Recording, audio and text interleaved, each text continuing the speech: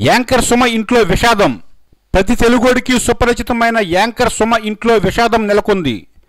సుమ అత్తగారు రాజీవ్ కనకాల తల్లి సీనియర్ నటుడు దేవదాస్ కనకాల సతీమణి ప్రముఖ నట శిక్షకురాలైన లక్ష్మీదేవి తుదిశ్వాస విడిచారు.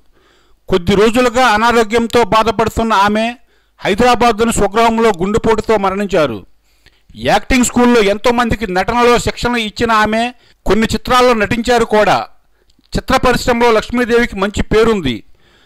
తమ వద్ద యాక్టింగ్ పాఠాలు నేర్చుకోవడానికి వచ్చిన వారిని కన్నబిడ్డల్లా చేరదీసిన వైనం అందరూ ప్రత్యేకంగా చెప్పుకుంటారు. అంతేకాదు లక్ష్మీదేవి మరణించే ముందు వరకు film and TV institute of Andhra Pradesh ప్రిన్సిపల్గా బాధ్యతలు నిర్వర్తించడం గమనార్హం. పలువురికి నటనలో ఓనమాలు నేర్పించిన లక్ష్మీదేవి మాస్టారు కాపురం మాయలోడు తదితర చిత్రాల్లో నటించారు. లక్ష్మీదేవికి తనదైన గుర్తింపు ఉన్నప్పటికీ యాంకర్ సుమకు ఉన్న ఇమేజ్ ముందు తక్కువనే చెప్పాలి. ఈ కారణంగానే ఆమెను సుమ అత్తగారిగా పరిచయం చేయాల్సి వచ్చింది.